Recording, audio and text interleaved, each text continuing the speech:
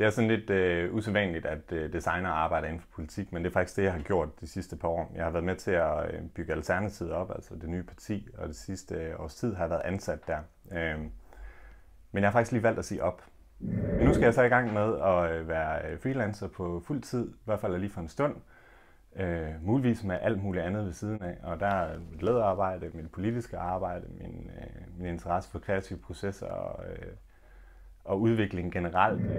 De ting, jeg laver, er sådan noget som det her. Jeg arbejder primært i kerneleder, fordi jeg også har en, øh, en stor kærlighed for kvalitet. Og øh, hvis der er noget, som hvis der er noget inden for læderverdenen, som der er kvalitet, og som der ikke øh, er brugt en hel masse kemikalier på, så er det kerneleder. Det, der er udfordringen, det er selvfølgelig, at når man arbejder på den måde, jeg gør, bliver produkterne utrolig dyre. Øh, markedet er begrænset.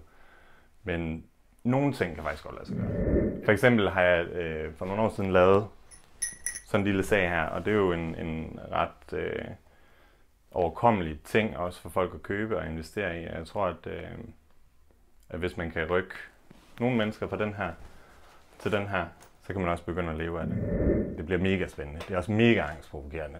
Øh, men, men jeg tror, at der er mange af os, der har det på den måde. Vi, vi lever lidt i, øh, i den der omskiftelige verden, og kan faktisk godt lide, når tingene de ændres radikalt fra det ene øjeblik til det andet.